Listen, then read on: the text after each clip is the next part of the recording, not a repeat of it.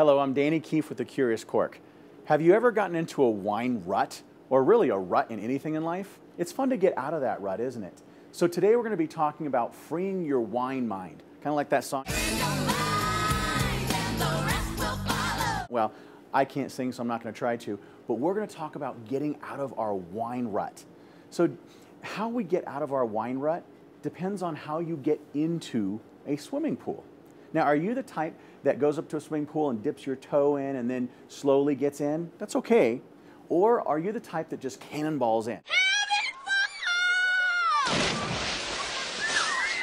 Well, depending on what type you are, is going to depend on how we get out of that wine rut. So say you're a, you're a toe dipper.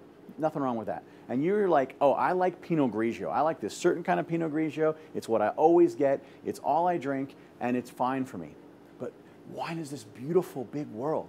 So go ahead, let's get that Pinot Grigio that you always did, and then let's get five or six other ones that you've never heard of. Now, you can either do it, just go to a wine store and get five or six different ones, or you can ask somebody.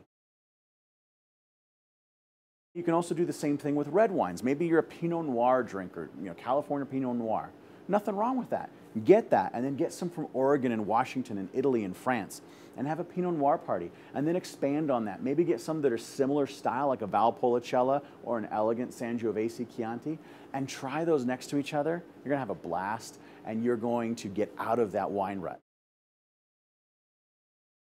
So say, yeah, I like my same two wines I always get, my white and my red, but then go to your wine store and say, hey, I always get these two. I want to get out of my wine rut, so I'm going to get some crazy fun wines.